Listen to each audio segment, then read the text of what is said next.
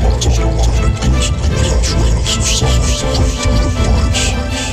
lost myself, unable to